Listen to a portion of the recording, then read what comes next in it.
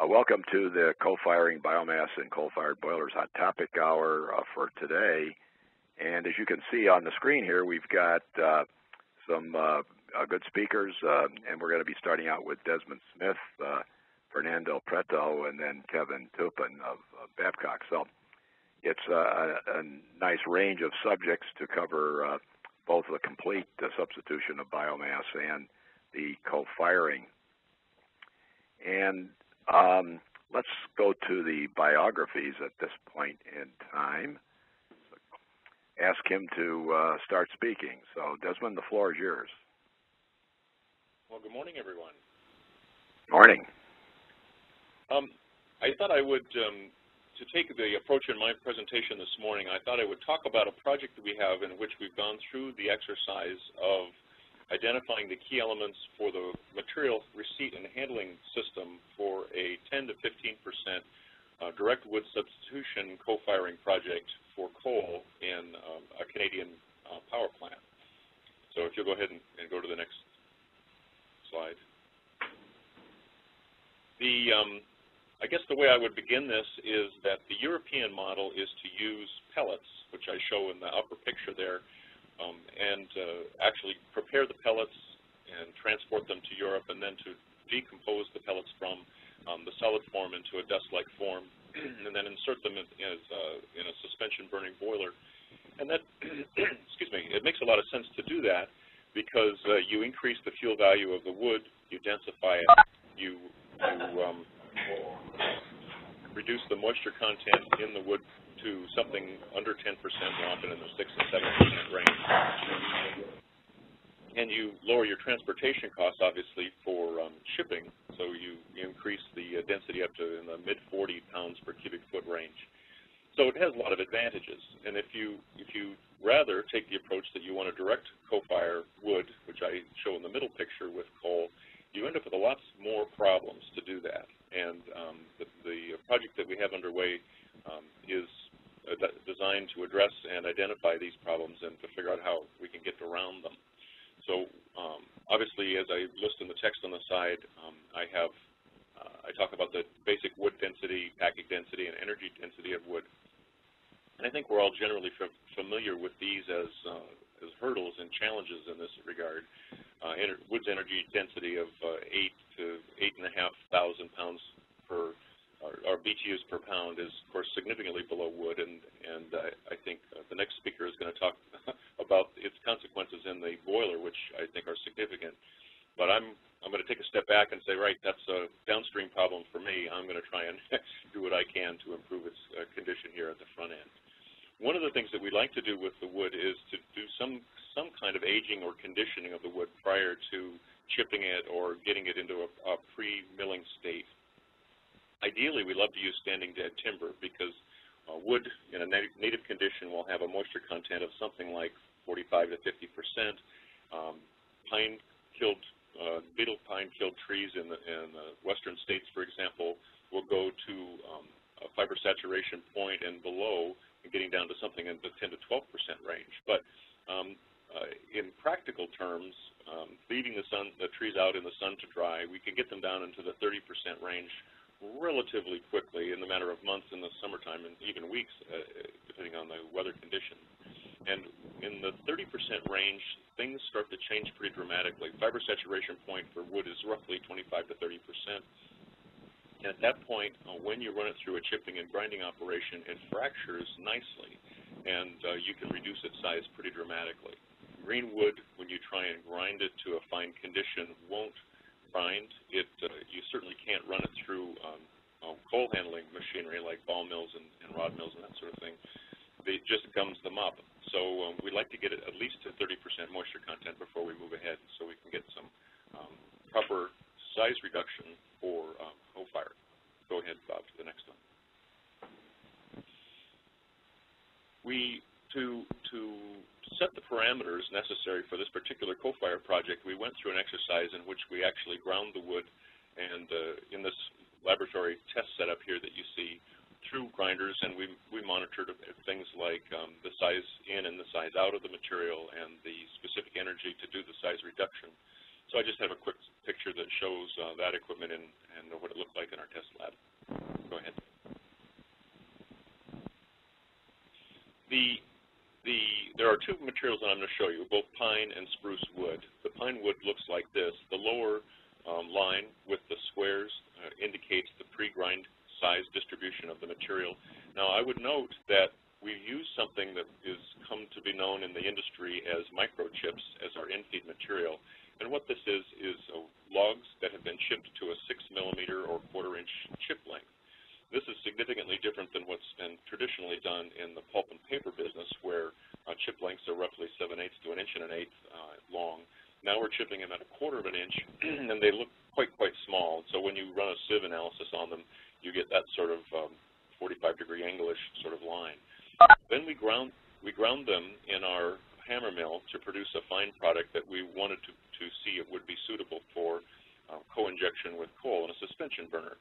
So we used various sizes of screens, and you can see listed on the right-hand side, 2, 4, and 6 millimeter openings. And these generated output um, fines materials that are represented by the other lines. And obviously, the, the more steep the line is on the far left side, the smaller the particles are and they follow the general pattern you'd expect. The 6 millimeter um, screens produce relatively larger material, and the 4 smaller and the 2 smaller yet. Okay, go ahead to the next line. And you'll notice, oh, sorry, on the bottom you'll see that those chips were 41%. Okay, and uh, then we, uh, we had some spruce chips which were at 34% moisture, and their size, inlet sizes are relatively the same. They were chipped under the same conditions. And as we run them through the grinder, then we get a better um, separation between the various screen sizes but you can see they gradually get um, smaller as the screen sizes go down. These various fractions were caught and kept separately and run through a, um, a test series run by the boiler guys, if I can uh, take an arm's length approach to this, who evaluated the burn conditions of these various uh, fractions, and they determined that the middle section, the so-called 4 millimeter size fraction, was acceptable for their process. So that um, that meant that um, but we didn't need to go all the way down to the two millimeter size because the capacity of the grinder is strongly influenced by the, um, the screen full size in, inside. So we've got a relatively good um, capacity through our system. Um, go ahead, Bob, to the next slide, if you would.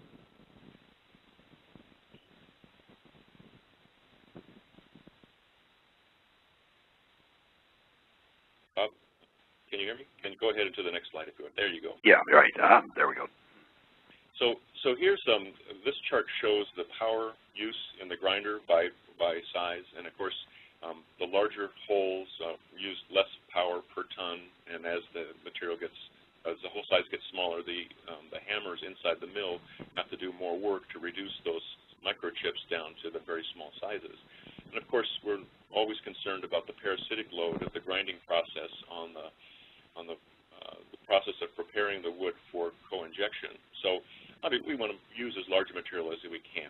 So in the, you know, in the, the middle fraction there was, you know, we end up with um, a machine, a, a grinding machine at this point that's 600 millimeters in diameter, 2 millimeters long. We have a 600 horsepower motor on it. It has roughly a 7 ton per hour throughput capacity at 30 millimeters, or at 30% moisture content. So that's what that sweet middle spot of uh, operation has turned out to be. Go ahead, Bob. So, so now um, there is some concern about the moisture content. In the beginning of the process, um, we were given a specification um, that the, the, chips would come in in green condition, and so we, we were very concerned about the moisture content, and we originally proposed a, a dryer to be included as a part of the project. Um, so the, the bed dryer shown in the bottom picture on the left uh, is, is an example of one of the types that can be used. Um, so uh, we were aware of and, of course, uh, tried to uh, educate our customer uh, who is, knows only coal uh, about um, moisture variability as it varies by species, source, age, condition, season, and so forth, and how this is a very difficult thing to control in natural situations. And impressed upon him the um, the process sensitivity to moisture. And ultimately, we talked about either passive um, moisture control strategies involving storage, as I mentioned, handling, blending, and so forth, or using an active moisture control system, such as a, a bed dryer, as, as, shown here. And uh, we went down the path quite a ways in order to uh, discuss excuse me, and qualify the, uh, the need for a, a bed dryer. Go ahead.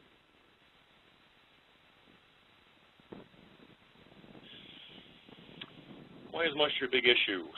Um, I, I, hope I'm not beating this horse too much with this presentation, but um, obviously it has a big impact on chip processing. It has a huge impact on boiler issues as well, uh, which Mr. Prater will probably talk about. So this is a, an example, uh, just a photograph of a, a coal-burning plant, which I, I, just can't help but mention this in passing.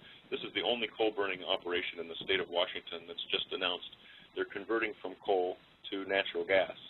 And I was heartbroken because of all of the biofuels that we have in the state of Washington. But um, anyway, there you go. Go ahead, next slide, please. Okay, uh, in terms of drying, you've got two basic technologies that are used. One is a bed dryer shown in the upper photograph, and the other is a rotary drum dryer, which is shown in the lower photograph. And drying as a, a process in wood preparation is a very energy-intensive process. Um, the heat energy to drive the moisture from the wood is significant, and um, there's always a question as to where this, this heat energy is coming. Um, uh, is it waste or excess heat in the process, or how do we get it through the to the um, the dryer and make it happen? The um, the photograph in the upper case is a bed dryer that's located immediately adjacent to a district heating system in Norway, and it actually runs on waste on excess uh, hot water that's generated by this um, this heating process. It, it's drying wood chips to uh, sub 10% moisture level from green condition for pelleting, and it's um, basically uh, run only when there's excess heat in the system. So if there isn't sufficient water available, they shut it down, which is a, kind of a nice way to do it. I've not seen any other system that's sort of that flexible. The, um, the issues with drying, of course, uh, a lot of it has to do with air quality issues, um, volatile organic com carbon compounds, and particulates released. The, um, the bed dryer system in the upper, uh, upper photograph uses a low temperature drying process so that the moist air that is passed through the bed from below is exhausted in the ducts that you see at the top and just vented to atmosphere. It's clean enough that it uh, satisfies the air permit requirements of local conditions. The, the lower photograph shows the typical rotary drum dryer in which the inlet temperature can be 1800 degrees. Um, the, the uh, VOC emissions and particulate emissions in this process are significant enough that to the right of the